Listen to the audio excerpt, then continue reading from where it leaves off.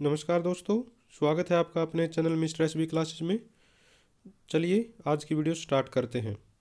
सबसे पहला प्रश्न है, सिंध पर विजय प्राप्त करने वाले अरब सेना के सेनापति का नाम बताइए। तो अरब सेना का पहला सेनापति कौन था वो? मोहम्मद बिन कासिम, ठीक है? नेक्स्ट प्रश्न, सुल्तान महमूद कहाँ का शासक था? तो सुल्तान महमूद दोस्तों, गजनी का शासक था, ठीक है? मोहम्मद गजनबी जिसको बोलते हैं। नेक्स्ट वन त्राइन की दूसरी लड़ाई में पृथ्वीराज को किसने पराजित किया? तो त्राइन की दूसरी लड़ाई किसके साथ हुई थी? पहली भी किसके साथ हुई? दोनों एक साथ हुई थी तो मोहम्मद गौरी, ठीक है? मोहम्मद गौरी के साथ दोनों लड़ाई हुई थी पृथ्वीराज चौहान की। पृथ्वीराज चौहान की मोहम्मद गौरी के साथ लड़ाई हुई थी।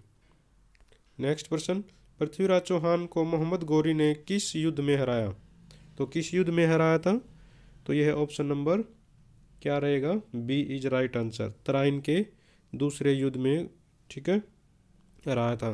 तो क्योंकि ग्यारह सौ इक्यानवे में तो जैसे तराइन का पहला युद्ध हुआ था, उसमें पृथ्वीराज चौहान की विजय हुई थी और तराइन का जो दूसरा युद्ध वो ग्यारह सौ बानवे में हुआ था। ठीक है, इसमें मोहम्मद गौरी जीत गया था और पृथ्वीराज चौहान हार गए थे। नेक्स्ट क्वेश्चन किस लड़ाई ने मोहम्मद गौरी के लिए दिल्ली क्षेत्र खोल दिया? तो मोहम्मद गौरी ने किस के जिसमें वो जीता था उसी ने खोला। तो तराइन की दूसरी लड़ाई ने, ठीक है? तराइन की दूसरी लड़ाई ने। जीतने के बाद क्या है वो? आगे बढ़ गया था। तो दिल्ली का क्षेत्र खोल दिया। Option number B is right answer. Next प्रश्न। तराइन का द्वितीय युद्ध। आगे बढ़ते हैं। तराइन का द्वितीय युद्ध डैश के बीच लड़ा गया था। तो तराइन का दूसरा युद्ध किसके बीच लड़ा गया था? मोहम्मद गौरी और पृथ्वीराज चौहान। देखिए बार बार किस तरह से चीज़ों को घुमाकर प्रश्न पूछा जा रहा है। ठीक है, इससे पहला भी इसी से संबंधित था, पृथ्वीराज चौहान और मोहम्मद गौरी। 2017 तक, अब तक ये चीज़ें आ रही, पीछे से चलती हुई। देखिए थोड़ा सा पीछे चलता हूँ।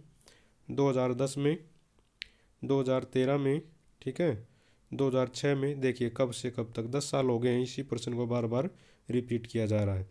तो आगे बढ़ते हैं।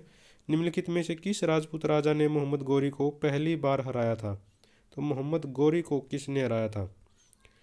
पहले युद्ध में मोहम्मद गौरी हार गया था तो पहला युद्ध किसके साथ हुआ था? बताइए। तो सबसे पहले बघेल भीम, ठीक है? Option number B is right answer. तो देखिए थोड़ा सा बता दूँ, मोहम्मद गौरी को पहली बार अनहिलवाड़ के जो शासक हैं, भीम द्वितीय ने ग्यारह में हराया था, जब पहली पहली बार वो आया था। उसके बाद पृथ्वीराज चौहान के साथ क्या है? उनके लड़ाई हुई थी। नेक्स्ट निम्नलिखित में से किसका मिलान सही किया गया है? तो सही मिलान किसका था? इनमें से बताइए। जैसे सुल्तान महमूद ने सोमनाथ को लूटा था, मोहम्मद गौरी सिंध पर विजय, अलाउद्दीन खिलजी, बंगाल बिन तुगलक क्या थे? चंगेज खां का आक्रमण। तो कौन से इनमें से सही है? ऑप्शन नंबर सी केवल एक, ठीक है? सुल्तान महमूद ने क्या था? सोमनाथ का मंदिर लूटा था गुजरात के अंदर, ठीक है? ठीक है, सुल्तान महमूद ने लूटा था। यहाँ पर भी मैं आपको बता दूँ ऑप्शन नंबर सी नेक्स्ट प्रश्न नंबर नाइन दिल्ली सल्तनत का उदारक कौन था? तो दिल्ली सल्तनत का उदारक राजा कौन था? यानी कि वो थोड़ा सा क्या था? उदार था लोगों के प्रति। ठीक है? तो यह है Iltutmish Iltutmish option number C is right answer इसको उदारक राजा माना जाता है। नेक्स्ट प्रश्न नंबर टेन नियमित मुद्रा जारी करने वाला और दिल्ली को अपने साम्राज्य की राजधानी घोषित करने वाला दिल्ली का प्रथम सुल्तान कौन था? तो कौन था दोस्तों? ऑप्शन नंबर डी इल्तुतमिश ठीक है? इल्तुतमिश आपको बता दूँ कि जैसे जो शासक बना था कुतुबुद्दीन ऐबक पहला, ठीक है, दिल्ली का शासक बना था, लेकिन उसने दिल्ली को राजधानी नहीं बनाया था। उसने लाहौर को अपनी राजधानी बनाया था, लेकिन दिल्ली अंडर में उसके आ गई थी पहली बार, ठीक है, इल्तु कुतुबुद्दीन ऐबक के, जिसको गुलामों का गुलाम कहा जाता, गुलाम वंश की इन्होंने क्या है, स्थापना की थी। जैसे ही कुतुबुद्दीन ऐबक की मृत्यु होती है, चौगान खेलते हुए, ठीक है, वो घोड़े से गिर कर मर गया था। तो उसके बाद इल्तुतमिश ने जब राज किया तो उसने दिल्ली को अपनी राजधानी बनाया था, ठीक है? आगे बढ़ते हैं। चंगेज़ खान ने जलालुद्दीन का पीछा करते हुए किसके शासनकाल में भारत की सीमाओं पर आक्रमण किया था? तो चंगेज़ खान तो किसका पीछा करते हुए भारत की तरफ़ आया था? जलालुद्दीन का ये भी प्रश्न बार बार पूछा जाता है। तो उस समय जब वो भारत आया तो कौन था, राज कर रहा था भारत में, ठीक है? तो इसमें ये चीज़ पूछी गई है। तो ये था इल्तुतमिश ठीक है? इल्तुतमिश लेकिन इल्तुतमिश ने क्या था? जलालुद्दीन को क्या था? संरक्षण नहीं दिया था, क्योंकि उसको पता था, अगर जलालुद्दीन को मैंने अपने यहाँ पर रख लिया तो चंगेज़ खान हमारे ऊपर आक्रमण करेगा।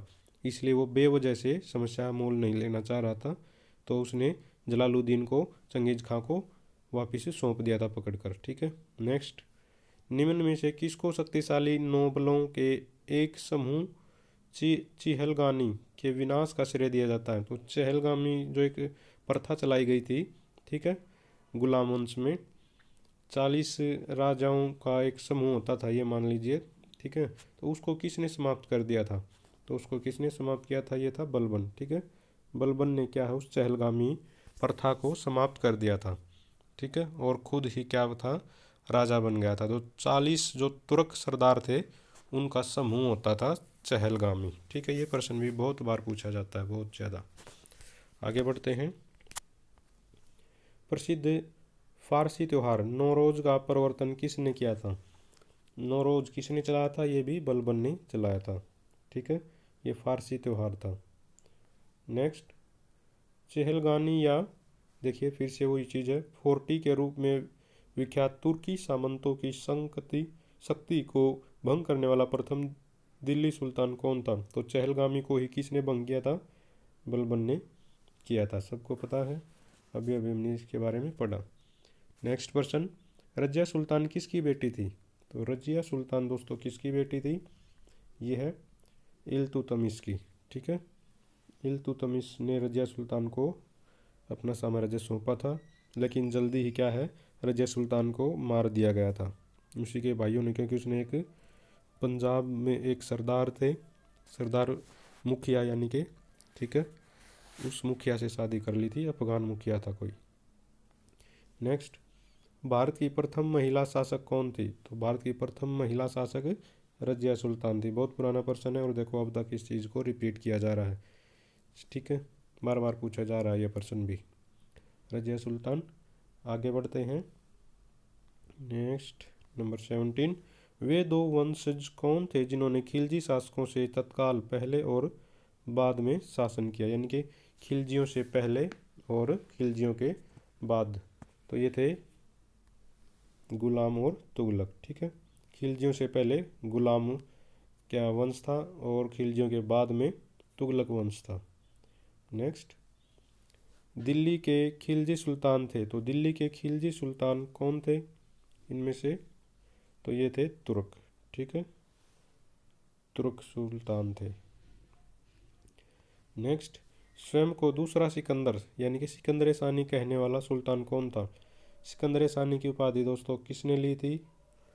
तो ये किस थी? अलाउद्दीन खिलजी, ठीक है? अलाउद्दीन खिलजी को सिकंदर सानी भी बोला जाता था।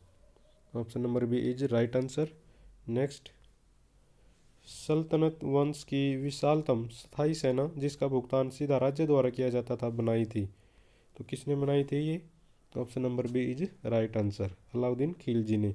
इसी ने, इसके बारे में और भी ये बार बार दो तीन बातें पूछी जाती हैं कि जैसे जो अलाउद्दीन खिलजी था, ठीक है, उसने क्या किया था?